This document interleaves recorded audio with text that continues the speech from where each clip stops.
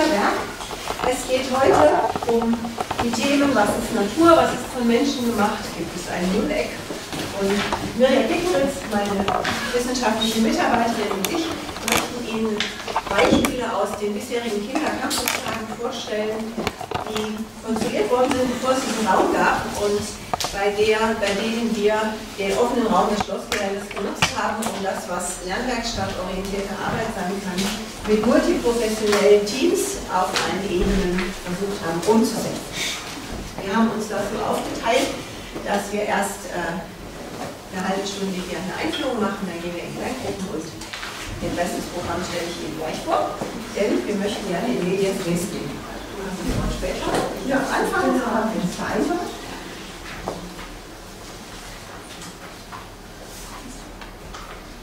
Kinder sehen Bäume. Der eine sagt, ich liebe Bäume. Bäume sind natürlich. Ein anderes Kind sagt, ja, aber das ist eine Allee und eine Allee ist nicht natürlich.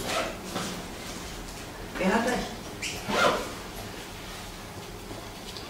Ein anderes Kind fotografiert, auch mit einer Fotokamera ausgestattet, mit derselben Frage unterwegs, was ist denn hier Natur oder von Menschen gemacht, ein Kunstwerk auf dem Schlossgelände und sagt, als ich vorbeikomme, boah, ich habe jetzt auch euch zwei da hinten drauf, euch Menschen, ich wollte ja das Kunstwerk fotografieren. Das hat mich gelockt, mich zu beteiligen. Ich habe dann gefragt, ja, das war spannend. Sind denn die zwei, die du jetzt fotografiert hast, Natur oder von Menschen gemacht? Daraufhin lieber wie angewurzelt stehen, das können Kinder ja, wenn man sieht, wie es arbeitet und die Erdverbindung ist ganz stark. Und fing an, etwas zu überlegen, laut zu überlegen. Ja, sagt er, hm, also ich weiß auch nicht mehr, ja, also vielleicht. Und dann kam das. Die wachsen ja nicht aus der Erde, also sind sie von Menschen. Die Frage ist natürlich eine nach der Henne und dem Ei. Ja? Darin liegt ein großes Stück der Produktivität dieser Frage. Ich schreite weiter. Ein Kind hat einen äh, Kreis geknetet, sagt es jedenfalls, als es eine Knetkugel vor sich liegen hat. Und das Nachbarkind sagt dann, nein, das ist ein Ball. Ein Kreis ist so, nimmt die Faust und donnert drauf, um es platt zu drücken. Wer hat recht? Ist es jetzt ein Kreis? Die Kugel ist kein Kreis, da würden Sie wahrscheinlich sofort zustimmen. Ne? Das eine Körper, das andere Fläche. Ist es jetzt ein Kreis? Kinder auf der Suche nach dem, was es zu entdecken gibt, anhand einer Impuls, anhand eines Impulses und was es zu entdecken gibt anhand dessen, was denn nun die Wirklichkeit ist und die im Gespräch dazu sind. Und das letzte Beispiel, ein Kind nimmt Kreide, bei der Aufgabe oder dem Angebot an der Tafel solche Flächenformen wie einen Kreis auszumalen sagt, ey, ich meine Punkt, das ist auch ein Kreis. Ja oder nein? Spannende Frage. Uns jedenfalls hat sie im in der Auswertung dazu geführt, Fachkolleginnen aus der Mathematikdidaktik zu fragen und warum, das wird, denke ich, im Laufe des Tages noch deutlich werden. Mit diesen Beispielen möchte ich einleiten zu dem, was heute theoretisch äh, untermauert werden soll, mit ein paar Gedanken dazu, was wir darum wissen,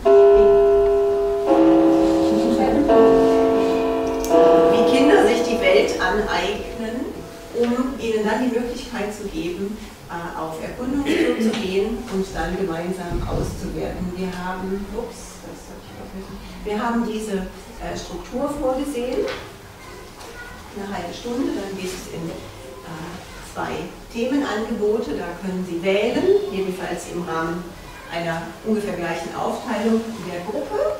Die werden dann von uns beiden jeweils betreut werden.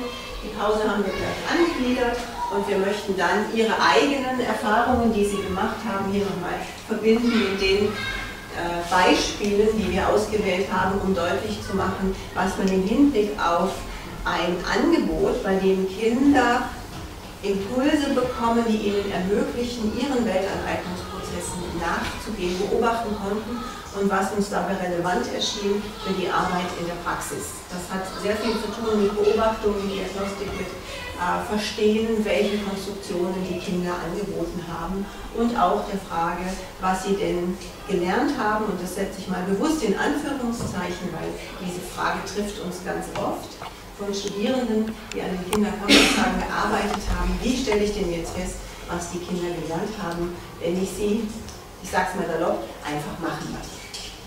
Die bekommen nachher auch noch Material mit, sodass sie nachlesen können, äh, was ähm, wir dazu schon geschrieben haben und möglicherweise einen Impuls finden, in ihren eigenen Einrichtungen etwas analog zu machen.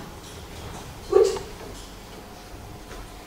Die Kindercampus-Tage, das ist ein Begriff, den wir immer so geprägt haben, sind folgende Veranstaltungen. Es sind immer Seminare von Studierenden, sie jetzt auch hier sitzen, äh, ungefähr zur Hälfte die äh, in der Regel aus dem Lehramt oder aus einem äh, erziehungswissenschaftlichen Studium kommen, also irgendwann mal nicht in der Schule arbeiten, aber vielleicht im Hort oder im Kindergarten oder in anderen Zusammenhängen und die dann im Sinn dessen, was wir auch im Feld haben, nämlich dass aufgrund der Übergangsprojekte äh, viele Erzieherinnen und Fachkräfte aus dem Elementarbereich mit Grundschullehrkräften zusammenarbeiten, hier schon in der ersten Phase in die Kooperation kommen und aufeinandertreffen mit den Fragestellungen, die man so aus der eigenen Einrichtung, ja, aus, dem eigenen, aus der eigenen Studienmotivation ähm, mitbringt und die äh, meistens ja sehr zu tun haben mit so einer Verankerung in der eigenen Institution. Ich denke, die großen äh, Fragefelder, was ist Spielen, was ist Lernen und so weiter, die seit Jahren diskutiert werden, brauche ich jetzt hier nicht alle aufmachen, Sie kennen das.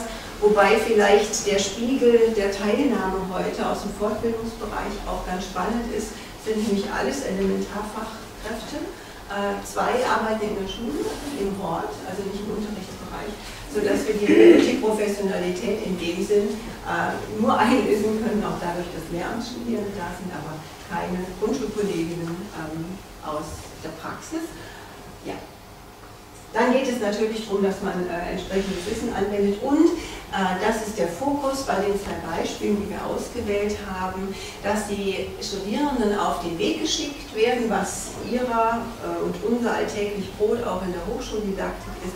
Wie kann ich ein Angebot oder eine Aufgabe so gestalten und zuschneiden, dass die die damit umgehen sollen, einen Raum haben mit ihrem Können, ihrem Wissen, ihren Voraussetzungen, ihren Interessen auf die Welt zuzugehen, auf die Dinge zuzugehen, einen Erfolg haben können bei dem, was es da zu entdecken und zu erkunden gäbe, in die Kommunikation gehen können über unterschiedliche Voraussetzungen, Kenntnisse, ähm, Möglichkeiten, Neues zu erkunden, um sich, das wäre das gemeinsame Ziel natürlich, die Welt ein Stück mehr zu erobern.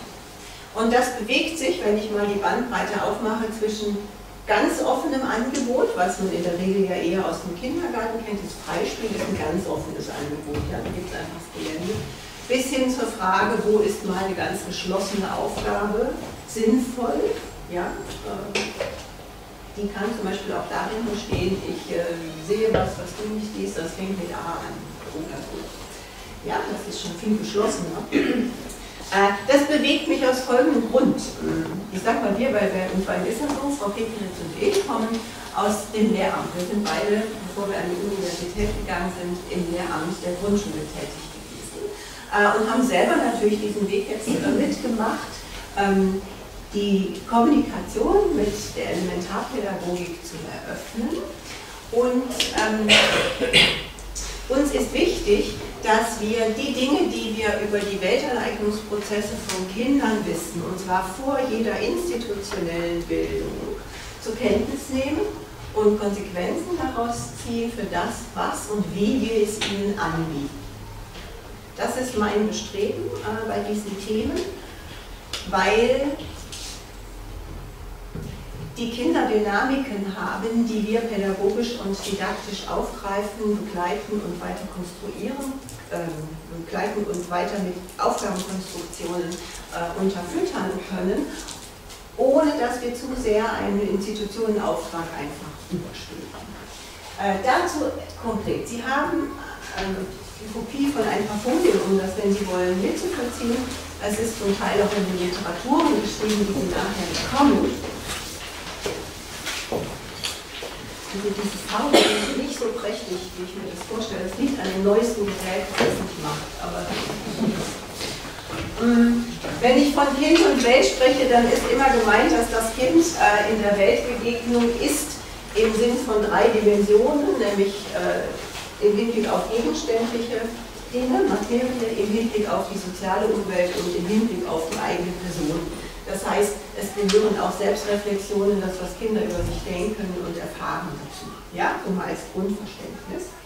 Und wir wissen über die Weltaneignung ganz viel.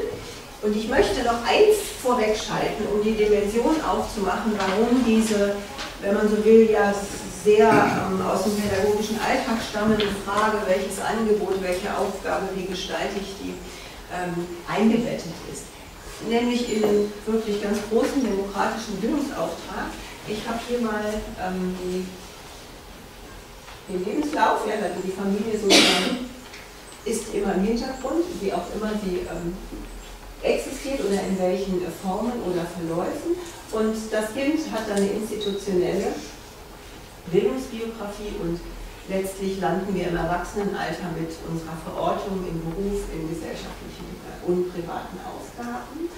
Und im Bereich von Kita, noch nicht verpflichtend, aber natürlich curricular äh, basiert und untermauert und in Schule verpflichtend, geht es letztlich darum, dass Menschen befähigt werden, in einer Demokratie zu leben, das ist unser Kontext, und für sich selbst verantwortlich zu sein. Und wenn Sie mal das, was ähm, unser aller Grundrechte sind, in, oh, in Adjektive übersetzen, das habe ich versucht, da unten, dann geht es darum, dass Kinder nicht nur ein Recht haben auf Gerechtigkeit und so weiter, sondern dass sie fähig werden zur Freiheit, dass sie fähig werden zur Verantwortung, dass sie fähig werden zur Entfaltung, fähig werden zur Achtung. Und das kann nur geschehen, indem die Kinder das erleben, ja? indem sie Verantwortung erleben, indem sie Gestaltungsspielraum erleben, indem sie Erfolge erleben, Gerechtigkeit auch im Bildungssystem das ist der große Horizont, den ich da sehe und aufmache, wenn es um die konkrete Aufgabe geht, weil eine Aufgabe oder ein Angebot, ich rede mal in dieser Doppelung, ähm, vermittelt nicht nur eine Möglichkeit, etwas zu lernen, sondern ist immer auch eine Botschaft, was ich und wie ich lerne, was die Erwachsene in mir sieht, was sie mir ermöglicht, wie sie mich sieht. Deshalb sind Aufgabenkonstruktionen so wichtig, weil diese Bildungsbiografie äh, im Kindergarten über Angebote natürlich, noch nicht verbindlich und noch nicht äh, selektiv und in der Schule dann natürlich hochverbindlich und immer noch hochselektiv Konsequenzen haben für den Lebenslauf. Das wäre sozusagen der große Zusammenhang, auch wenn es um die Frage geht, wie mache ich das jetzt mit dem Einmaleins? Ja? Okay. Ja, das ist die Frage. Ne? Was lernt jemand durch die Art und Weise, wie pädagogisch oder didaktisch etwas angeboten wird? Man lernt immer was. Sie kennen vielleicht das Eckenrechnen, das ist hier im Norden sehr verbreitet. Kennen Sie das noch aus der eigenen Schule? Ja? Also wer richtig liegt und am besten schnell liegt, der kommt weiter. Was ist das für eine Botschaft? Wer schnell richtig rechnen kann, im Angesicht aller, der hat Erfolg. Und alle anderen? Sie sollen allerdings auch rechnen lernen. So lernen sie erstmal verlieren. Ja, das ist gemeint. Okay, gut. Äh, worum es uns hier geht, ist, dass das Kind natürlich im Mittelpunkt ist. Nichts Neues mehr, aber ich möchte es trotzdem nochmal vergegenwärtigen. Und dass jeder in seiner Fachlichkeit, äh, die Erzieherin, damit sie noch andere Professionen im Elementarbereich gemeint, aus ihrer Institutionenverantwortung heraus denkt und agiert, ja, haben bestimmte Aufträge dass die Lehrkräfte das tun. Die haben zum Teil einen anderen Auftrag. Großer Teil der Aufträge ist deckungsgleich übrigens. Dass es auch die tun, die im Betreuungsbereich tätig sind. Immer dasselbe Kind, was es geht. Und dass es letztlich um das Kind in seiner Bildungsbiografie geht. Das ist der Grund, warum ich sozusagen zurückschalte auf diese Fragen, was wissen wir darüber, wie Kinder auf die Welt zugehen, wie sie lernen und sich entwickeln, um es dann zu nutzen, unter den Vorzeichen des jeweiligen Auftrags aber über den Auftrag nicht zu vergessen, was die Kinder diesseits dieses Auftrags eigentlich tun und was ihr Familie ist. Das wäre so das Konstrukt. Deshalb auch dieser Zuschnitt unserer Nachmittage hier mit der Einladung an verschiedene Professionen und auch verschiedene Qualifikationsstufen. Wir haben Studierende hier und Fachkräfte und solche, in der Weiterbildung in weiterführenden Institutionen arbeiten. Gut, ich komme mal zur Weltaneignung. Äh, ich mache das anhand ähm, dieser Punkte, die ich Ihnen jetzt hier einfach einblende und erläutere. Sie haben da auch weitere Folien drauf, auf denen noch weitere Aspekte vermerkt sind. Das können Sie dann sozusagen im Nachklapp lesen. Ich werde nur eigene, einige davon aufrufen, weil sie Erläuterungen sind. Also, ähm, das Kind lernt immer einerseits selbst, das heißt niemand anders kann für es lernen und sich bilden. Und es tut es immer auf dem Hintergrund seiner eigenen Voraussetzungen. Und das trifft nicht nur für Kinder bei jedem Alter. Ja. Äh, Voraussetzungen sind Wissen, sind Können, sind Erfolgserfahrungen, sind äh, Misserfolgserfahrungen, sind Wissensstrukturen, sind auch Motivationen. Hm? Alles, was wir über die Welt denken, sind das Bäume oder ist das eine Allee? hat natürlich zu tun bei diesen Kindern damit, was sie schon erkennen können. Die wissen, Baum ist irgendwas Natürliches, aber eine Allee ist eine bestimmte Anordnung. Das sind unterschiedliche hm, Wissensvoraussetzungen, die diese Kinder hatten, ja, von dem Beispiel eben, und die sie anwenden. Wenn das Kind sagt, ein Punkt ist auch ein Kreis, nimmt es die Sonderform eines winzigen Kreises, in dem es die Kategorie Kreis erkennt. Ob es mathematisch ein Kreis ist, Nein, aber warum äh, komme ich drauf? Ja? Die Co-Konstruktion, das zweite, die Verständigung, äh, wie andere im Fach sagen, der Schäfer sagt eher Verständigung, heißt, dass wir nie alleine ähm, uns bilden können, sondern dass es immer darum geht, äh, die Wirklichkeit zu deuten und sich darauf zu verständigen. Ist es nun ein Baum, ist es eine Allee? Ja, es ist ein Baum, klar. Die Anordnung ist die Allee. Das heißt, man muss jetzt ins Gespräch gehen, wer was meint. Ähm, ist ein plattgedrückter Knetball ein Kreis? Also schon mal eher, weil er eher Richtung Fläche tendiert, ja. Aber mathematisch nicht, weil es ist immer noch ein Körper, es hat ja immer noch eine Ausdehnung. Das sind Verständigungen nach dem Hintergrund dessen, was jemand weiß. Man muss ja jetzt ein Kindergartenkind oder ein Erstklasskind nicht in jedem Fall besser, nee, ist aber doch kein Kreis. Das ist ja eine ganz andere Frage, wie man dann interveniert oder sich einmischt.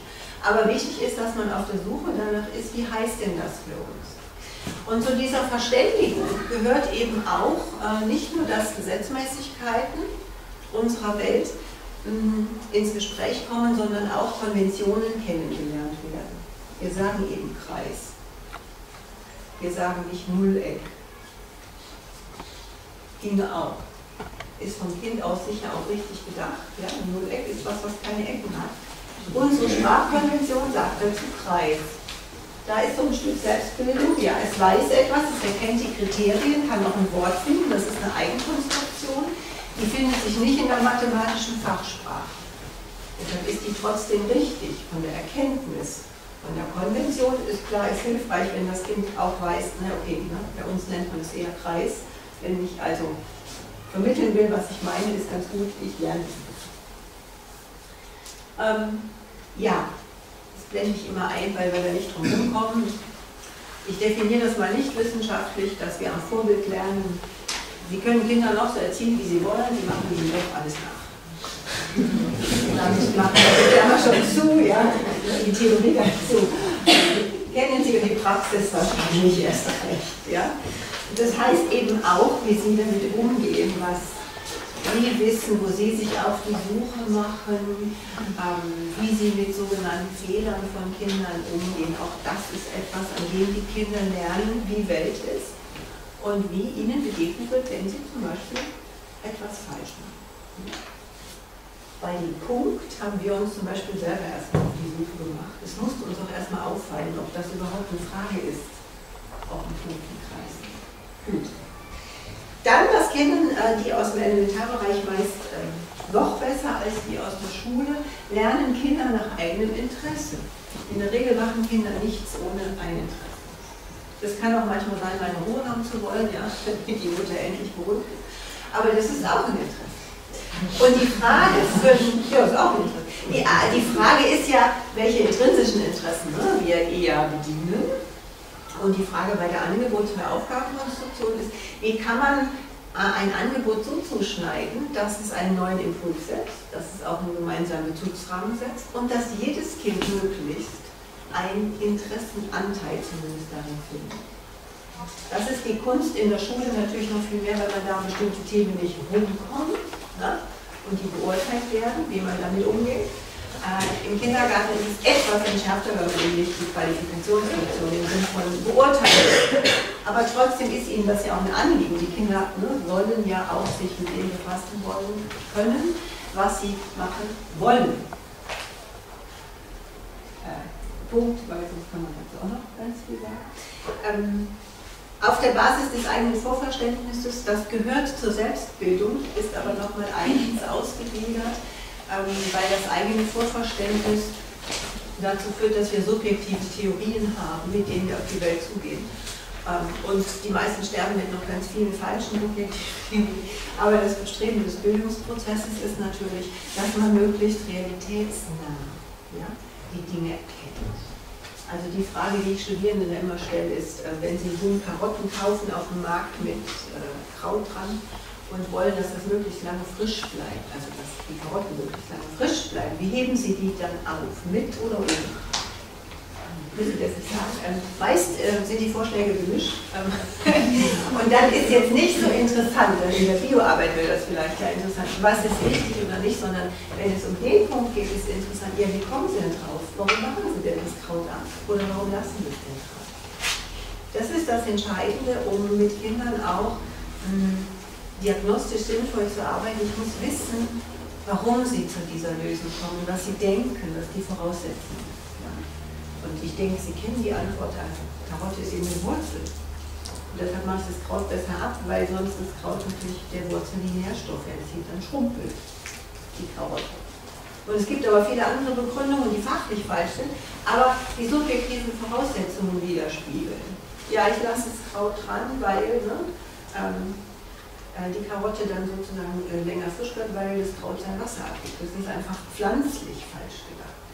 Und ähm, das hat auch mit solchen Verständigungsprozessen zu tun, Co-Konstruktionsprozessen. Nur wenn ich weiß, warum ich diese oder jene Lösung ähm, als die richtige ansehe, kann ich in ein Gespräch darüber gehen, wo Irrtümer vorliegen. Äh, diese Farben, die man hier wirklich nur schwächlich sieht, ähm, haben etwas zu bedeuten. Dieser Punkt deutet an, dass die Frage, wie wir Kinder anschauen, immer zu tun haben mit unserer Perspektive. Wenn Kinder experimentieren, wenn sie Fehler machen, wenn sie mit Versuch und Irrtum arbeiten, wenn sie systematische Versuche aufbauen, gibt es alles, ne? auch schon außerhalb natürlich von Schule, ähm, dann gehen wir heute davon aus, sie sind handlungskompetent.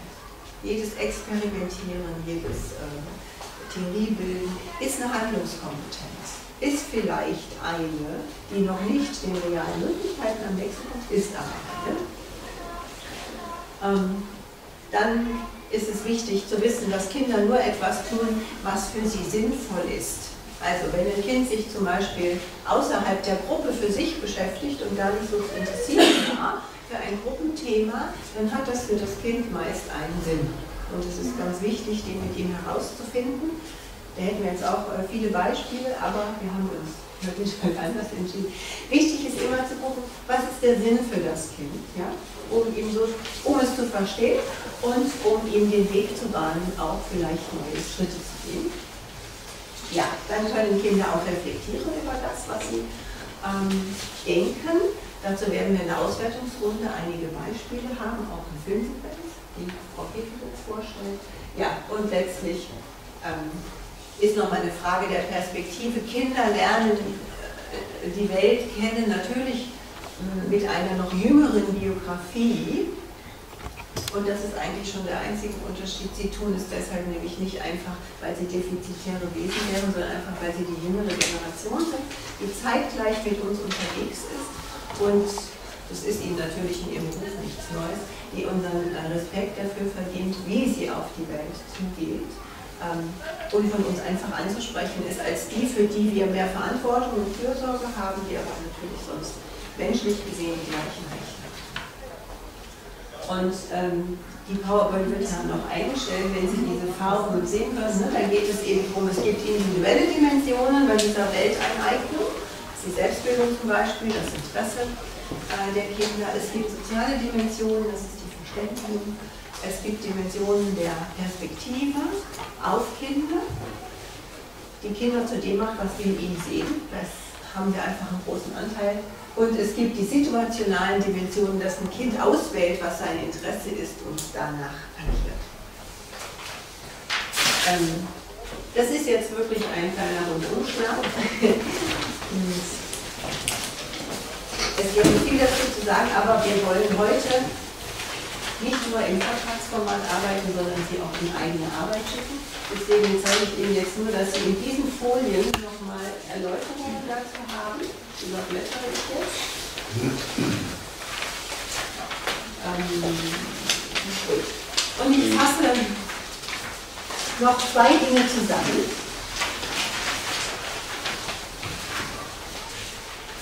In der Weltaneignung geht es immer darum, dass Kinder eigenaktiv sind und dass sie auf Erwachsene und ihre Aktionen, ihre Aktivitäten und auch ähm, das, was sie vorbereiten an Umgebung, angewiesen sind. In dieser Dynamik arbeiten wir, also arbeiten natürlich auch Eltern in der Erziehung und arbeiten wir in Bildungskontexten, auch im Hinblick auf äh, die Konstruktion von Kontexten, in denen man sich mit den Dingen der Welt auseinandersetzt. Und es ist so, dass in der Eigenaktivität es einmal kognitive und metakognitive Dimensionen gibt. Das ist einmal die selektive Wahrnehmung. Ich sehe, was ich weiß und kenne. Bäume oder eine Allee. Ja. Ein Punkt ist ein Kreis oder nicht. Ähm, es gibt die Vernetzung mit vorhandenen Wissensbeständen und Strukturen. Das ist eben auch die Allee, da weiß ich schon, dass es die gibt. Äh, ich weiß schon, dass eine Kugel kein Kreis ist, also muss ich den knapp machen. Und es gibt die Hypothesenbildungen. Also ja, wie ist das jetzt? Sind Menschen von Menschen oder natürlich? greife mal zurück auf ein Kriterium dessen, was für mich natürlich ist, aus der Erde wachsen. Das tun Menschen nicht, also müssen die von Menschen machen. Bei der Eigenaktivität des Kindes gibt es aber auch die sozialen Dimensionen. Das habe ich das hier hochgestellt. Ähm, Kinder brauchen Sicherheit, um sich auf Neues einzulassen. Wir übrigens auch. Die Sicherheit ist und Bedürfnisse ja unterschiedlich ausgeprägt. Und sie haben gleichzeitig ein Wachstumsbedürfnis. Ne? Wenn es zu sicher, zu kuschelig, zu vertraut, zu routiniert ist, dann haben die Menschen das Bestreben, es muss was Neues her. Das bringt uns auch immer weiter auf die Welt zu. Haben in Gruppen natürlich ganz unterschiedliche Ausprägungen äh, von diesem Kontinuum. Und dann gibt es Kinder, so äußert sich das dann, die sind in Gruppen und bei Themen sehr initiativ, die gehen auf die Dinge zu, die schlagen was vor, die anderen gehen eher mit, schließen sich an. Ja, genauso eine Dimension, sie die anderen nicht führen, muss man auch mal sehen. Und es gibt Kinder, die bevorzugen es, zumindest über weite Strecken auch für sich zu arbeiten. Und es ist sehr wichtig, das zunächst mal zu sehen und nicht zu beurteilen und zu meinen, ein vielleicht schüchternes Kind, ähm, das für sich arbeitet, dem geht es schlecht oder das ist von vornherein traurig. Das ist möglich, das ist aber nicht der erste Gedanke, den man dann bearbeiten soll. Hm? So, und äh, neben diesen äh, Eigenaktivitäten gibt es das Angewiesensein. Das ist jetzt der letzte Punkt und um das geht es dann gleich auch in der Probe. Wenn Weltaneignung angeboten werden soll, dann brauchen Kinder Kontexte, die mit unserem besten pädagogischen und didaktischen Wissen konstruiert sind. Und diese ähm, Konstruktionen, die haben verschiedene Merkmale. Das erstmal nicht. Sie brauchen erstens Kenntnis der Sache. Worum kann es eigentlich gehen? Was ist das Potenzial der Sache? Sie brauchen Kenntnis von Entwicklungsverläufen, um zu wissen, ob Kinder sich in risikobehafteten Verzögerungen befinden ja, oder schon weit darüber hinaus sind. Das ist ihnen, nicht neu. Und was wir postulieren, für die Schule eher postulieren, als dass es schon, denke ich, genügend umgesetzt wäre. Kinder sollten die Komplexität der Welt möglichst angeboten bekommen, auch wenn es um bestimmte Lerninhalte geht. Denn wir agieren immer ähm, lebensweltlich zumindest mit der Komplexität. Ja? Wir sind in der Sprachumgebung. Ähm, wir bewegen uns in einer Umgebung, in der wir alles, was motorisch möglich ist, investieren können. Mm, Sie nehmen Wiese, zunächst das Wiese wahr, bevor Sie sehen, dass da vielleicht 13.400 ähm, Gänseblümchen wachsen und Millionen äh, einzelne Grashalme. Das wissen Sie schon mal gar nicht vom ersten Blick. Also erstmal kommt die Wiese und dann kommt das Detail. Schule leidet häufig darunter, dass sie nur das Detail nimmt und die Komplexität vergisst. Und wir stellen Ihnen jetzt zwei Beispiele vor, von denen wir meinen, dass ein, die Komplexität in einer ganz guten und sinnvollen Weise angeboten wurde, mit Strukturierungsimpulsen, die geholfen haben, diese Komplexität dann zu entdecken. Und das will ich mit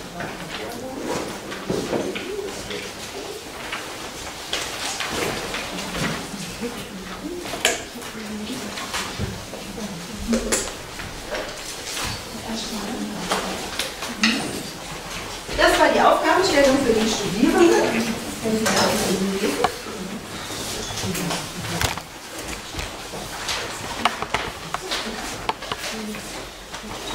Also es ging darum, wie kann man die Komplexität der Wirklichkeit auf unserem Campus, Sie kennen vielleicht das Schloss, ja, und den Park und so weiter, erhalten. Und welche Werkzeuge werden den Kindern zur Verfügung gestellt? Das können materielle Werkzeuge sein, aber auch geistige, können auch Fragen sein, sodass sie einen Fokus hatten, um die ihnen mehr oder weniger bekannte Umwelt neu zu strukturieren und dass sie auch provoziert wurden, etwas selektiv in den Blick zu nehmen und sozusagen von einem Ding, das Ihnen auffiel, zum nächsten zu gehen. Wir bieten Ihnen jetzt an, ja, rechts ist rot, links grün, falls man das irgendwie sieht, dass Sie sich in zwei Gruppen aufteilen. Wir haben einmal die Geometrie-Expedition im Angebot und der Geosafari. Die ist hier. Und die Fotoforschung ist bei Frau Kekeritz. Und wir haben vorgesehen, dass Sie jetzt für eine Dreiviertelstunde sich in den Größenordnungen verteilen. Die Studentinnen haben schon ihre roten Karten. Wir bitten dann die aus dem Elementarbereich. Und zwar einmal gibt es fünf aus derselben Kita und einmal drei aus derselben Kita. Das heißt, die drei und fünf. Die, glaube ich, selbst am besten. Ja, wenn sie sich einteilen, Port grün und wir schlagen vor, dass sie sich aufteilen sodass wir möglichst multiprofessionell gemischt sind.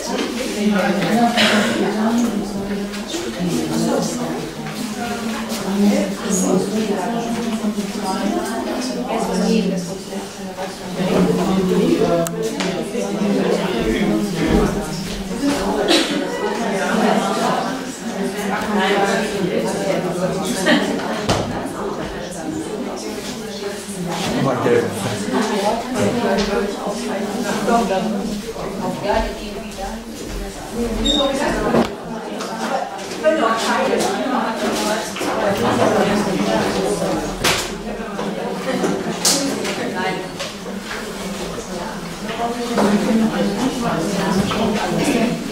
Ja, dann verteilen Sie sich, wenn Sie ungefähr gleich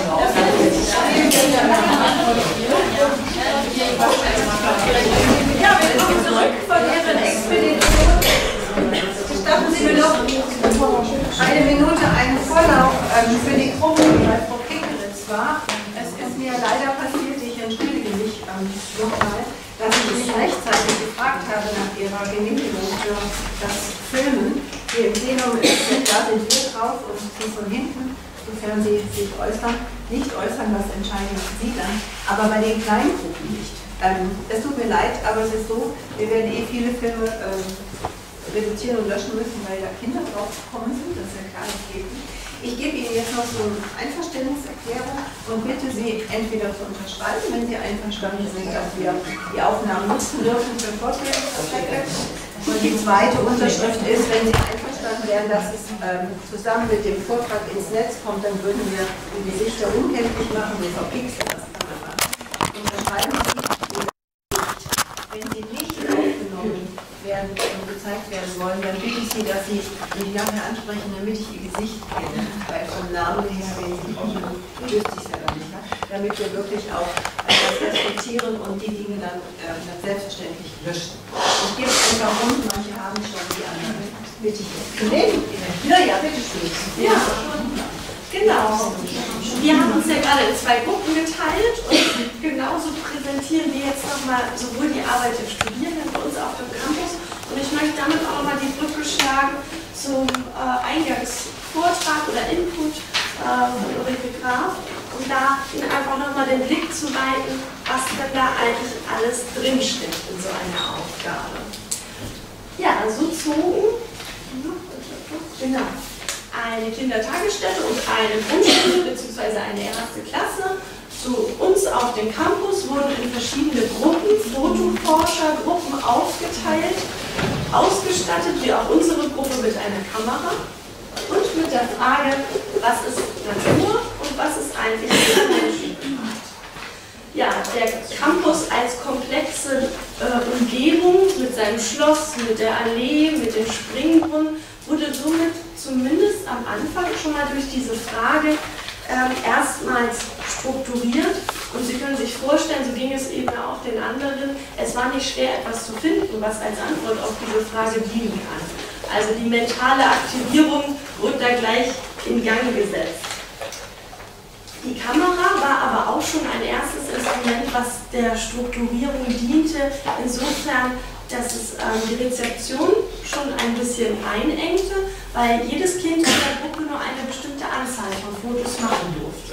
Es war zwar eine Digitalkamera, aber da war es begrenzt und somit musste auch in der Gruppe entschieden werden, wollen wir das jetzt fotografieren oder nicht. Ist es uns das Foto sozusagen wert, was wir hier. Begleitet durch einen Studierenden oder eine Studierende zogen die Kinder über den Campus und fingen an zu entdecken, zu zeigen. Der Springbrunnen und die Bäume und die Alleen und der Weg und die Steine und wurden zunehmend auch aufmerksamer und gerichteter. sehen Sie auch nochmal die Schilder der Fotoforschergruppe. Also das waren so kleine Gruppen von ungefähr sechs, sieben Kindern mit einem Studierenden. Diese, beide, äh, diese Szene wurde Ihnen eben schon geschildert, auch was darauf nach einigen Grübeln geantwortet hat. Und es zeigt einfach nochmal, ja, dass Weltaneignung auf Basis von Vorwissen geschieht und dass das Kind immer, wenn es solche Theorien bildet, an das anknüpft, was es schon bereits weiß. Und es weiß, dass Dinge aus der Natur, Bäume oder andere Pflanzen aus der Erde wachsen. Und dass es auch hier durch diese leitende Frage zu einer ersten Systematisierung, was ist Natur, was ist typisch für mich für Natur, was macht das aus, angeregt wurde. Genau. Kunstwerk. Die Kinder erhielten ein weiteres Werkzeug, nehmt das mal an die Hand. Denn ähm, Lernen geschieht in solchen komplexen Zusammenhängen, wie dem Campus zum Beispiel, aber am besten mit verschiedenen Werkzeugen, die der Rezeption oder Produktion dienen. Das heißt, wir als Pädagogen sind gefordert, wenn wir solche offenen Aufgabenkontexte gestalten und uns als Pädagoge mehr in der Rolle eines Moderators oder eines Begleiters von den Lernenden befinden, dass wir dann alle unsere, unsere Kraft und Energie sozusagen oder alle unsere Expertise daran reinstecken, die Lernlandschaft, nämlich das mal vorzubereiten. Und so sehen Sie hier bei der Karte, dass sie zunächst aufgebaut ist, das wesentlich markante Gebäude, wie die Stadthalle, das Schloss, das Mensa-Gebäude, oder auch die Allee abgebildet sind. Allerdings ist die Karte gleichzeitig auch aus einer Vogelperspektive gestaltet, sodass hier auch unterschiedliche Entwicklungen, Entwicklungsniveaus von den Kindern angesprochen werden und auch sozusagen gefördert wird, solche Karten lesen zu lernen. Die Kinder haben mit Kreuzen markiert, wo sie ihre Gruppenfotos aufgenommen haben und wurden dadurch immer wieder auch gefordert, diese Karte sinnvoll zu benutzen, nämlich sich wieder erneut zu verorten, wo befinden wir uns eigentlich und wo kann ich so ein Kreuz machen. Da wurde also sich gedreht, umgeschaut, diskutiert und gemeinsam in der Gruppe abgesprochen.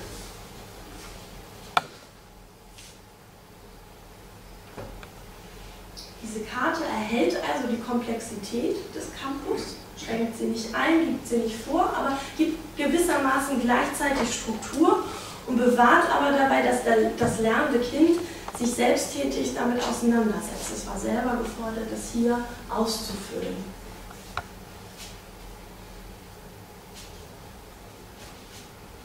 Ja, durch diese leitende Frage, die den ganzen Vormittag präsent blieb in der Gruppe ähm, und ja auch ein gewisses Reibungspotenzial immer mehr und mehr aufwies, weil, denn bei einigen Dingen konnte man sich doch nicht so schnell einigen, ob das jetzt Natur oder Mensch ist, ähm, blieb eine gewisse Offenheit vorhanden. Die Kinder konnten verschiedene Lösungsansätze finden und hatten auch verschiedene Herausforderungen. Also nicht nur etwas zu finden, was von der Natur oder von den Menschen ist, sondern sich zum Beispiel auch gleichzeitig mit der Karte zu orientieren, mit der Kamera umzugehen, mit anderen auseinanderzusetzen, eigene Meinung zu vertreten und so weiter. Die Kinder konnten regelrecht in der Sache aufgehen, denn sie hatten hier ein sinnvolles Tun. Also es hatte für sie in dem Zusammenhang einen Zweck, warum sie das jetzt hier tun, warum sie zum Beispiel mit der Karte umgehen sollen. Das ist eine Szene. Lass mal nur die erste sprechen.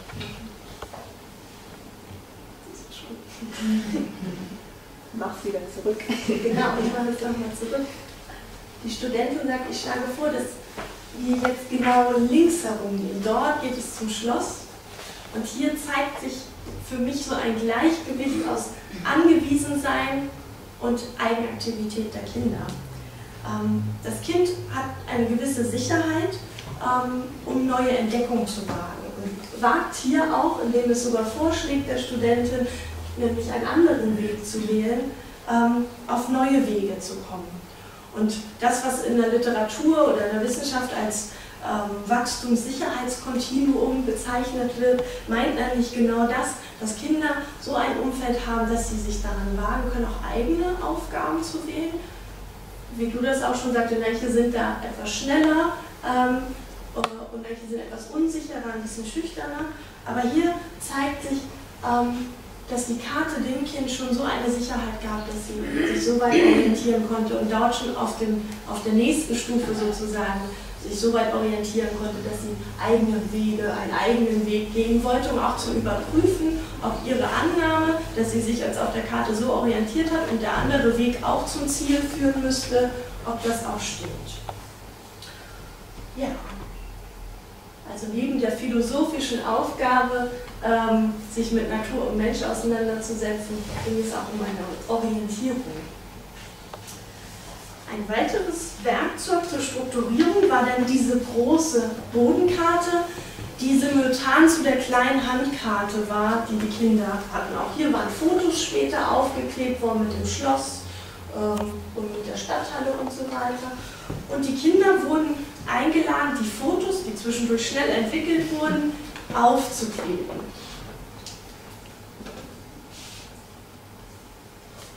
So wurden die Kinder quasi in kleinen Schritten provoziert, sich immer wieder mit dieser Frage auseinanderzusetzen und gleichzeitig auch hier noch mehr in der Gruppe auszutauschen.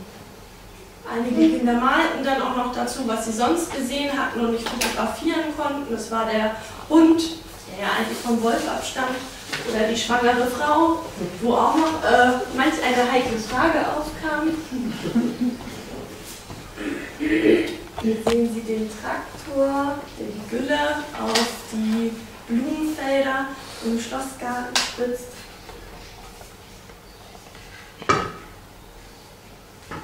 Ja, so wurden die Kinder hier angeregt, ähm, ihre individuellen Wahrnehmungen, die sie gemacht haben, zu zu versprachlichen und somit auch im Austausch mit anderen zu überprüfen. Und das ist das, was vorhin als hochkonstruktiver Prozess bezeichnet wurde, also genau dieser Austausch über die eigenen Konstrukte und damit auch immer wieder die Überprüfung.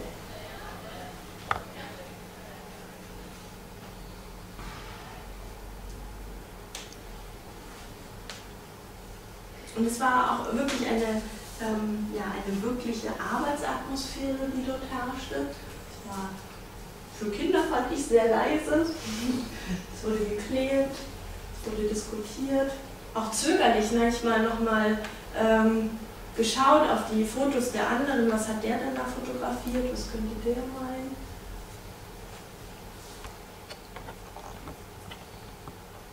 Die Steine, die wir hier sehen, das ist so ein ähm, bodennaher Springbrunnen, die werden gleich nochmal relevant.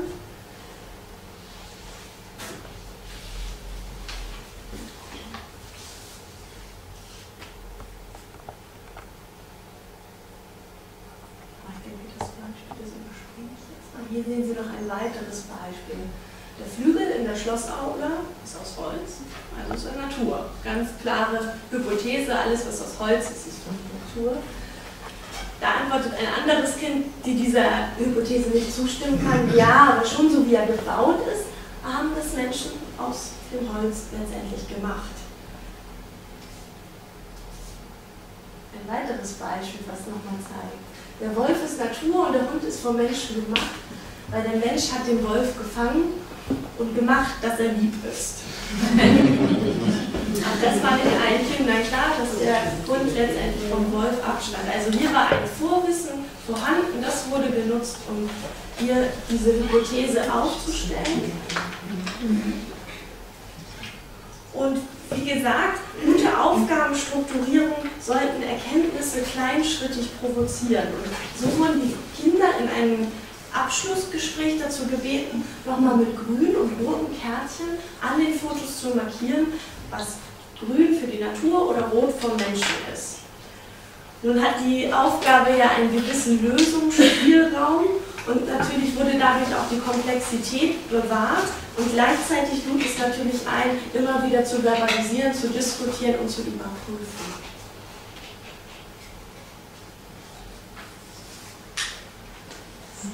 So kamen die Kinder ins Philosophieren. Man merkte richtig, also bei manchen sah man das auch richtig an, dass der Kopf nahezu qualmte. Und ein weiteres Beispiel, was ich Ihnen zeigen möchte, was nochmal zeigt, wie sehr die Kinder auch an das eigene Vorwissen anknüpfen und ähm, Umwelt oder Welt so strukturieren, ähm, gemäß ihrer eigenen Erwartung. Das zeigt es in einem Video, das wir in dieser Abschlussrunde aufgenommen haben, als die Kinder philosophiert haben. Damals haben wir noch nicht bewusst videografiert. Das heißt, ich hatte meine kleine Digitalkamera zum Glück dabei und habe in dem Moment einfach gefilmt, daher müssen Sie ein bisschen die Qualität entschuldigen. Ich hoffe, es ist laut genug. Genau, super.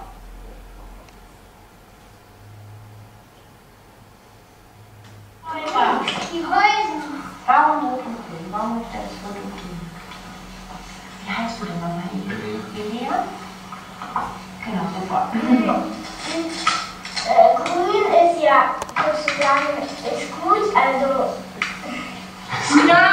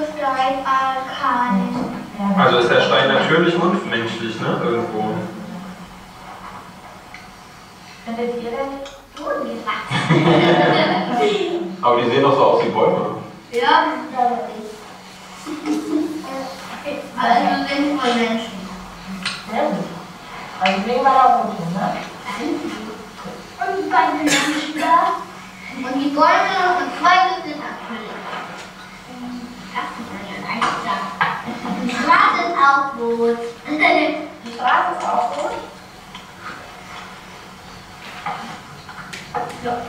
Was meinst du, Elia? Ich will bei Beides? sagen. Den Menschen. Nein, auch Menschen. Von Menschen gemacht. Ja, glaubt ihr denn? Ähm, einmal. Hm, Ich glaube, du hast noch nicht erklärt, warum grün und rote Schnipsel. Doch. Doch, doch. Okay, dann okay. Alles klar. Aber nochmal, Das versteht für die. Natur und rot.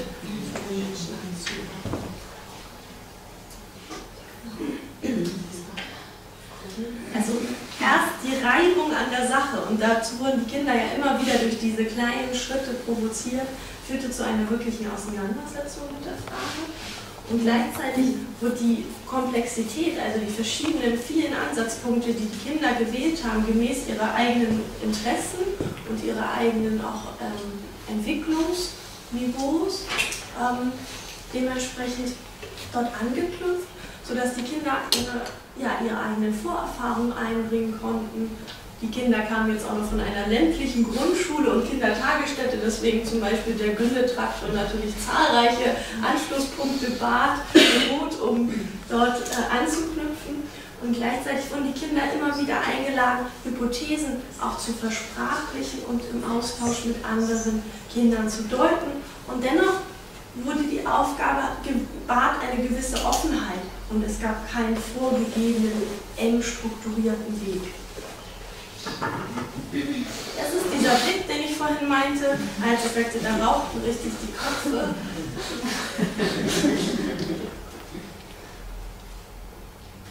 Am Ende gab es dann noch eine kleine Urkunde und auch als Dankeschön zum Teilnehmen. Und die Plakate wurden, es wurden letztendlich der Campustag zweimal durchgeführt, sodass in beiden Einrichtungen am Ende auch diese Bodenkarte nochmal hing und auch die Kinder immer wieder diese Frage natürlich mitnahmen auch noch ähm, später darauf zurückgreifen konnten.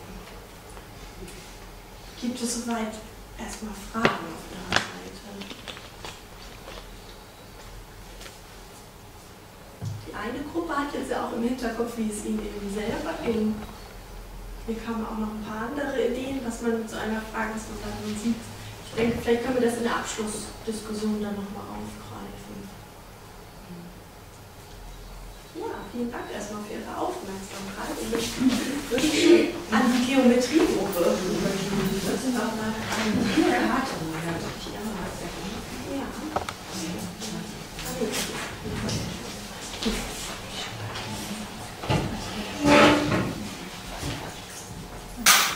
Ich würde gerne noch was ergänzen, ähm, weil äh, wir beide ja ausführen äh, Überlegungen dazu, wie eine Aufgabe strukturiert ist, dass Kinder mit ihren Interessen anknüpfen können und äh, ihre Vorerfahrungen und Gefühle ähm, zu neuem Wissen, zu neuer äh, Weltsicht ähm, erweitern können. Und diese Karte hat in dieser Mischung aus Analogie, du hast ja die Bilder genannt, ja, analogen Fotos äh, die man sehen kann, wenn man sich umdreht.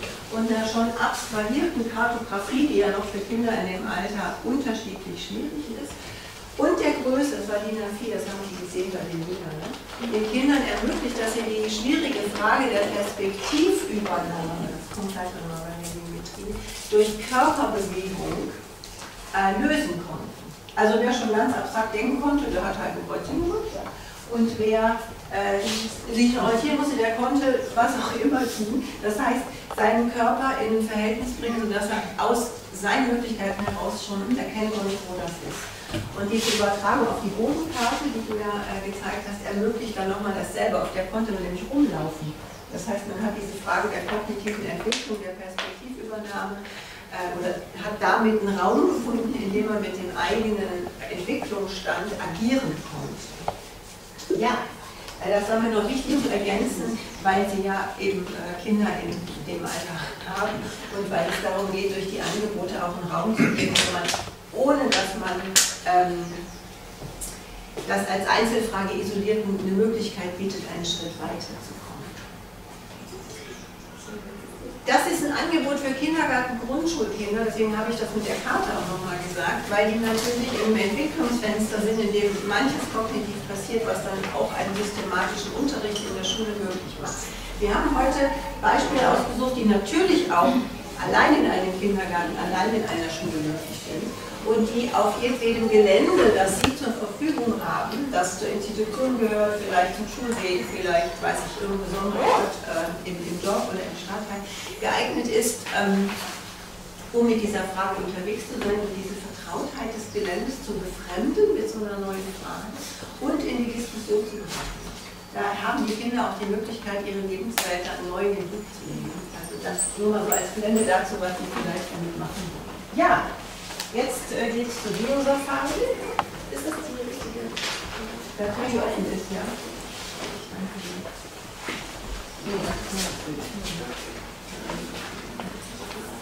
Das ist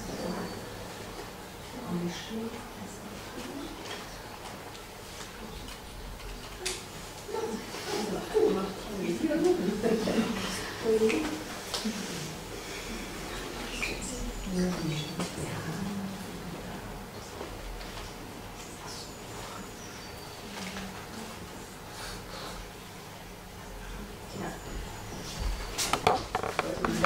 Ausschreiben, Fortbildung ohne Aber es bietet halt die Möglichkeit auch viel äh, zu tun. Ja, zur Geometriegruppe. Also die Frage äh, mit Rechteck, Dreieck und Kreisschablonen, die, die da jetzt nicht dabei waren, hinten zum Beispiel auch hängen sind. Das Gelände zu erkunden ist ein Beispiel dafür, wie man eine selektive Wahrnehmung provoziert, weil die Kinder nämlich dann den Fokus darauf richten, wo entdecke ich eine Form, die so aussieht. Äh, das wäre sozusagen das Thema, auf das wir eingehen. Diesen Punkt habe ich ja schon genannt. Ja. So, das heißt, Kinder entdecken Dinge, die sozusagen im Sonderbereich liegen, Auswendigkeiten. Die haben, habe ich schon gesagt, uns dazu ähm, eingeladen, die Dinge auch fachlich zu klären. Das ist uns übrigens wichtig bei unseren Angeboten, dass es nicht nur darum geht, dass Kinder möglichst mit ihrem Vorwissen unterwegs sein können. Ähm, und fachlich nicht überfordert werden, sondern dass wir die Sache sehr ernst nehmen und der Klärung der Sache auf der Spur bleiben. In dem Fall haben wir dann rausbekommen, ähm, ich zumindest wusste, ist nicht, ein Punkt ist kein Kreis mathematisch, weil ein Punkt mathematisch keinen Radius hat.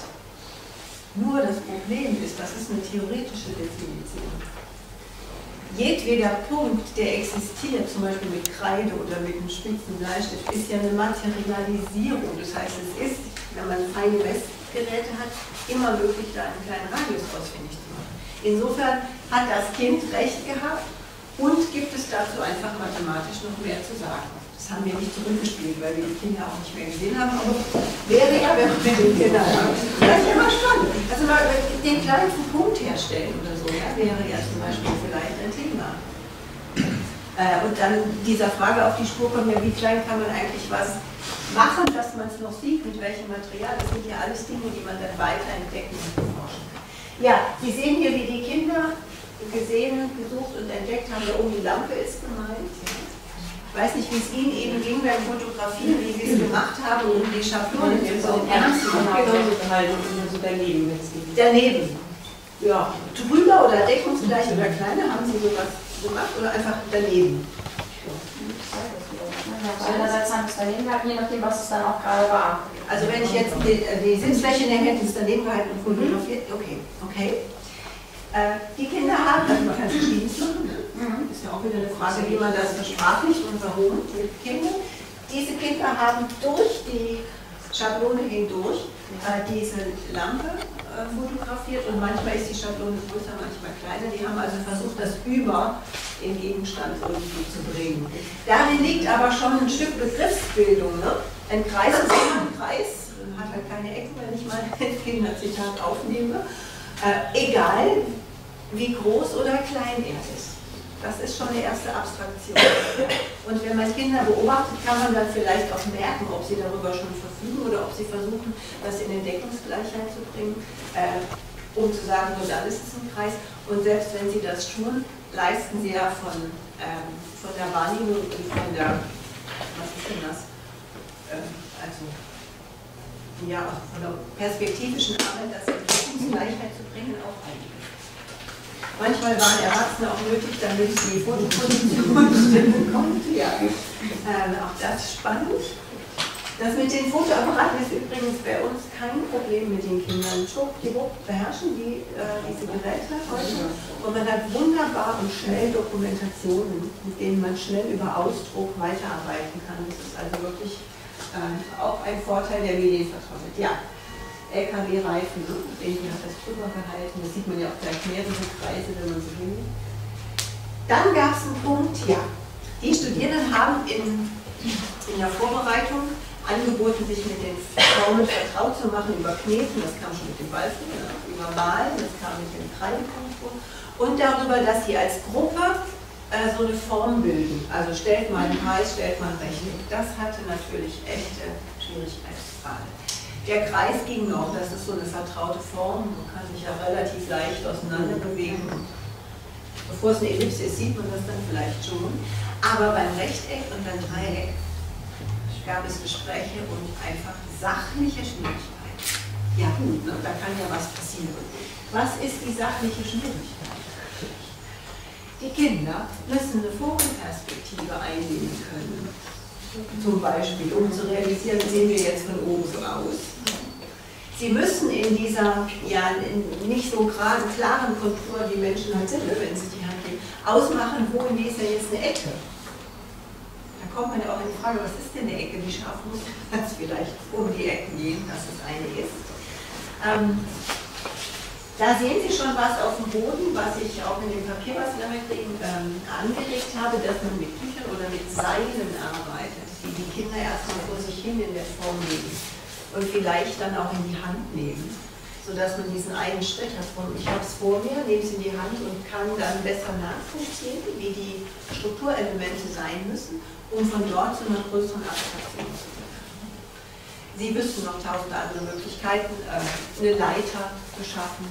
Ne? Ein Kind ist Beobachter und führt Regie, auch möglich. Von oben fotografieren, um es den Kindern zu zeigen und vielleicht anhand von Fotos zu besprechen, wo man noch was machen müsste. Auch da, wenn es noch kein Rechteck ist, ist jedes Gespräch darüber, wie es zu produzieren wäre, äh, eine Annäherung an das Thema. Ne? Also da hat man gemerkt, dass die Studierenden da noch ähm, vom Entwicklungsstand zu hoch gedacht hatten, dass die Kinder das leicht hinbekommen. Ja, mm, wir haben eben in der Rückmeldegruppe der Geometrie-Expedition äh, das Thema gehabt. Da ist ein Quadrat, ist ein Quadrat ein Rechteck, ist ein Rechteck ein Quadrat, was ist ein Oberbegriff, was ist ein Unterbegriff, sind das zwei verschiedene Dinge. Da haben Sie einen Problempunkt bei diesem Angebot, denn diese Schablonen sind jeweils eine konkrete Realisierung einer Flächenform in der Größe und in den Winkelverhältnissen, wie sie vorliegen. Aber mathematisch sind natürlich Rechtecke in vielfältiger anderer Realisation möglich. Das Kriterium, dass es äh, vier rechte Winkel sind und die gegenüberliegenden Seiten gleich lang sein müssen, das kann man so ja nicht definitorisch erklären, darum geht es eben gerade auch nicht. Aber beim Angebot, das zu entdecken, ist es wichtig, dass man sich dessen bewusst ist. Und wenn man jetzt in einer Einrichtung damit arbeitet, kann man ja ein leichtes tun, mehrere Schablonen verschiedener Rechteckrealisationen anzubieten. Und ein Quadrat ist in der Tat ein Rechteck, ist eine Sonderform eines Rechtecks. Was Sie nicht machen dürfen, das wäre dann ein Problem, ein Quadrat als Rechteck anbieten und das Rechteck nicht mehr thematisieren, weil dann gibt es, kann es zu Verwerfungen in der Begriffsbildung kommen. Äh, beim Dreieck ist genauso, wir haben hinten ein gleichschenkliges, also wenn so das Dach gleich ist sozusagen, und die Hypotenuse dann drunter liegt. Es gibt aber Dreiecke in ganz verschiedenen Winkelverhältnissen. Das müsste man und könnte man berücksichtigen und man muss sich dessen bewusst sein, dass man nicht sagt, das ist ein Dreieck. Suche Dreiecke. So, Sie sehen hier, ne? die Kinder haben das realisiert. Und diese Bilder geben eben wunderbare Gesprächsanlässe untereinander, mit Eltern, das haben die übrigens auch gemacht in den Einrichtungen. Und sind ästhetisch, muss ich Bitte. Ja. Und sind ästhetisch daraus, Ja. sehr anspruchsvoll. Ja. Kann man auch mal ein Kunstprojekt machen, wenn man das so machen will. So ein. Ja, und dann haben die Studierenden angeboten, dass die Kinder ihre ausgedruckten Fotos kategorisieren, alle Dreiecke, das ist ja nochmal eine Anwendung dieser Begriffsvorstellung, und haben dann solche ähm, Pappkartons auch im gleichen Formenformat angeboten, um es in die Einrichtung zu nehmen und äh, zu dokumentieren. Das wäre ja bei Ihnen dann alles anders, wenn Sie sozusagen vor Ort machen. Da ist auch nochmal sowas. hm, Das ist ganz schön. Da ist ja der Kreis auch erkannt, indem man mentale Linien zieht. Ne? Das hatten wir eben, da komme ich jetzt noch zu. Ja, da sehen Sie das. Ganz vielfältig. Vom Erde kommt auch hoch. Dann, ähm, Mirja hat es ja auch schon angesprochen, äh, bei einem Mädchen, dieser Aspekt, dass es nicht nur kognitive Lernprozesse geht, sondern auch um sozial-emotionale. Wir hatten eine wunderbare Situation, ähm, es wird einem ja geschenkt, wenn man dann gerade dabei ist, ne? um äh, nochmal so die eigene Beobachtung zu schärfen für das, was Kinder produktiv tun, um sich und mh, ihre Erkenntnis zu retten. So habe ich das ja genannt. Also, es lag dann einen Tag schräg und äh, dieser Junge hatte eben ein Dreieck entdeckt, und zwar da oben. Ne? Da sehen Sie, das ist, was ich eben in der Teilgruppe meinte. Das ist ein Dreieck, äh, das er mental vollkommen konstruiert hat, weil hier ist ja diese Hypotenuse, ist ja gar nicht zu sehen, baulich. Baulich nicht ab. Das wäre wie wenn wir hier drin jetzt sagen, such mal Dreiecke, die man nicht so einfach sieht. Ja, also eine Diagonale durchs Fenster. Kennen Kinder umgekehrt, wenn sie sowas zusammenschieben von Tangram und anderen Spielen. Also das hat er entdeckt und jetzt war die Kamera kaputt. Funktionierte gerade nicht. Also stand er da, wartete geduldig, da spielten andere Kinder im Schnee von der Gruppe. Das hat, das brauche ich Ihnen nicht erzählen, einen großen Aufmunterungscharakter. Und dann sah ich plötzlich ähm, das. Revierverteidigung. Ne? Da war er spielen, bis die Kamera wieder funktionierte, kam er wieder zurück und dann konnte das Foto machen. Ähm, das hat mich nochmal so darauf hingewiesen, was dieser Junge da gezeigt hat. Es gibt ja Kinder, die machen das nicht. Ne? Was man da auch thematisieren kann. Zum Beispiel so einen Jungen das erzählen lassen. Da kommt vielleicht ein Kind, was da heulen zusammenbrechen würde oder einen Wutanfall bekommen, weil das Bild jetzt nicht funktioniert.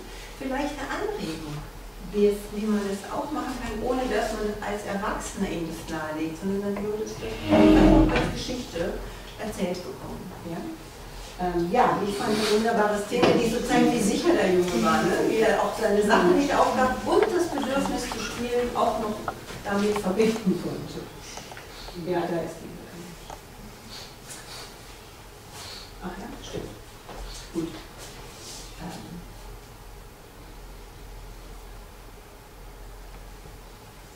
Ähm. Ja, haben Sie noch Fragen zu dieser Geometrie-Expedition?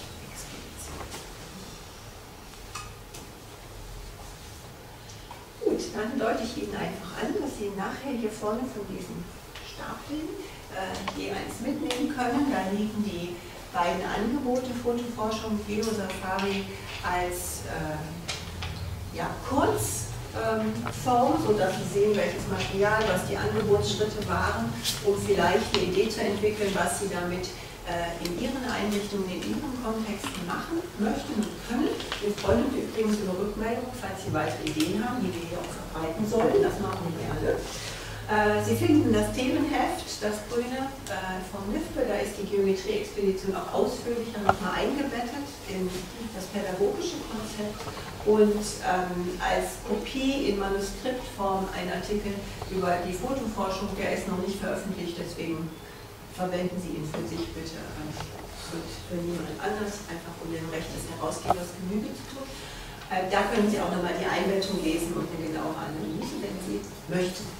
Und ähm, ich würde gerne noch ein paar abschließende Gedanken sagen zu der Frage, ähm, wo unser Angebot herkommt und was Studierende beschäftigt hat in den Evaluationen, weil das möglicherweise Fragen sind, die Ihnen auch in Ihren Kooperationen äh, schon wichtig waren. Also zum Beispiel ist für die Studierenden bei solchen eher offenen Angeboten oft schon die Frage gewesen, wann will ich wissen, welcher Kind aus welcher Institution stammt. Meistens wollen sie es recht früh, das versuchen wir natürlich hinauszuzögern, äh, und zwar um zu verhindern, dass so Voreinstellungen, was Kinder können oder noch nicht, sich ja, als Wahrnehmungsfolie vor das schiebt, was die Kinder zeigen. Und man merkt immer, wie tief es sitzt, weil es ist oft schon passiert, wir arbeiten ja ein ganzes Semester dazu, wenn der Tag ist, ähm, hören ja oft ganz zu Anfang, wer ist denn aus dem Kindergarten, wer aus Schule, das ist so eingefleischt, wo ich dann merke, da ist einfach immer noch so viel zu tun, einfach mal, um sich selbst zu disziplinieren und den Blick zu öffnen. Es ist ja klar, dass in der Realität sie das wissen, ja. Es geht darum, dass man den Kopf die Schranken einbaut. Dann ist eine zweite Frage, die man jetzt hat das Kind denn jetzt gelernt? Wie weiß ich das? Vielleicht kennen Sie solche Diskussionen einfach durch das, was Sie in Schule wissen und umgekehrt. Ähm, es ist eine ganz spannende Frage, das Können von Kindern zu entdecken, ohne dass es immer schon reflexiv mit den Kindern bewusst gemacht wird oder in einem Abfragen endet, wie das natürlich jetzt eine ganz kognitive Form. Deshalb haben wir Ihnen auch hier diese Analyse vorgestellt, um so zu zeigen, was wir versuchen zu sehen in diesen Situationen und was wir dann noch mit Studierenden diskutieren. Und was möglicherweise auch ein Thema für Kooperationen zwischen Einrichtungen ist, wie kann ich das Können eines Kindes registrieren, achten und natürlich auch zurückspielen, ohne dass es nur über eine Abfrage oder eine Prüfung festgestellt würde. Also so im Kindergarten nicht die Frage, aber ne, wenn es um Einschulung geht, ja natürlich schon, was kann das Kind denn und wie kann ich es ihm zeigen. Ja. Und im Hinblick ähm, auf dieses lernwerkstattorientierte Arbeiten beschäftigt uns schon immer die Frage, inwiefern gelingt es denn, einen Impuls zu setzen, der die Kinder die Welt, die sie kennen, neu strukturieren lässt. Und das ist was anderes, wie wenn ich strukturiere neue Erkenntnisse vermittle und sage, das ist eine Baumhütte, die so angepflanzt sind, ist eine Allee. Ne? Wiederhole das mal, ich bin jetzt ein bisschen äh, zugespitzt. Äh, darum ging es. Neustrukturierung für die Kinder ermöglichen in den Dialogen, ne, da gibt es ja noch viele, die Frau Pekel vorgestellt hat, wird das so deutlich, wie sie das tun. Übrigens hört man ganz oft die Sendung mit der Maus. Mhm. Im Wortlaut, ja. Mhm. Gut. Ähm, das lasse ich mal weg. Ja, das ist aus einer studentischen Arbeit. Ähm, Frau Götz ist da, äh, Die hat es in ihrer Reflexion mal so zusammengefasst, wie ich immer äh, schön formuliert. Das bleibt eine Herausforderung. Ja? Und ich betone nochmal, es geht uns um die Gleichzeitigkeit der Offenheit und der Aufrechterhaltung des Sachanspruchs, und zwar mit allem Interesse und aller Lust an der Sache.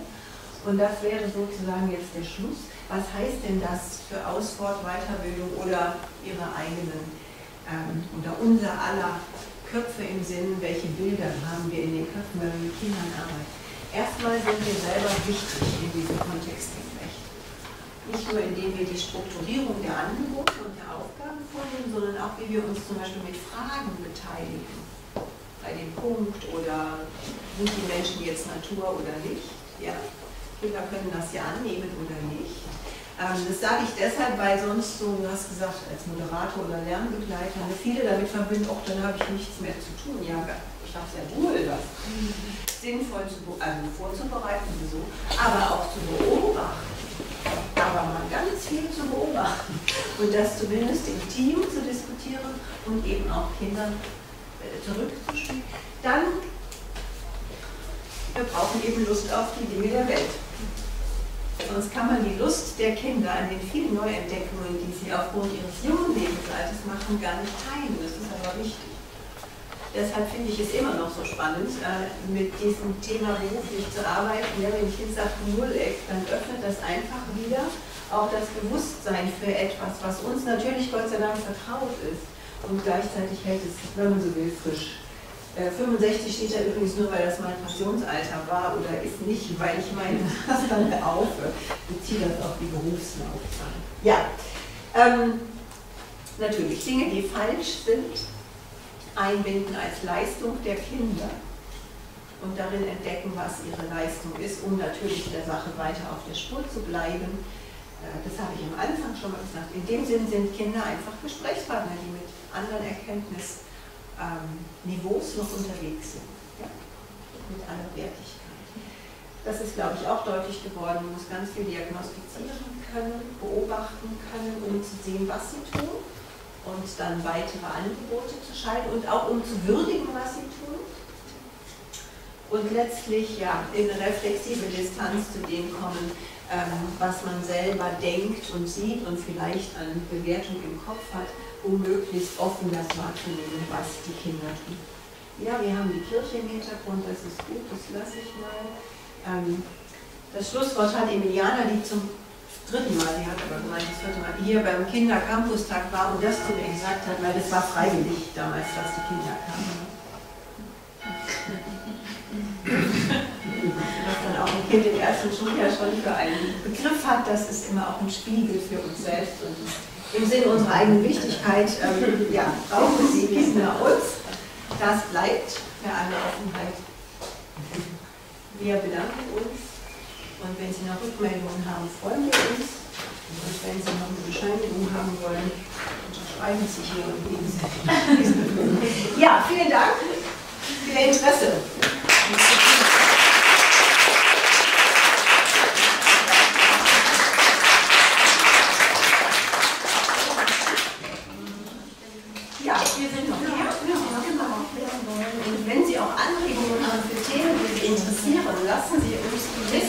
ja immer pro Semester versuchen, hier Angebote zu schalten.